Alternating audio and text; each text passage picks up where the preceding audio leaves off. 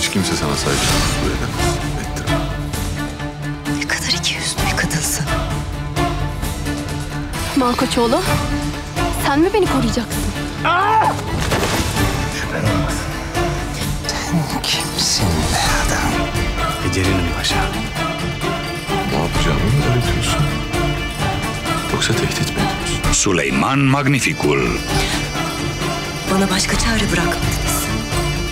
În fiecare sâmbătă și duminică, de la ora 20, la Happy.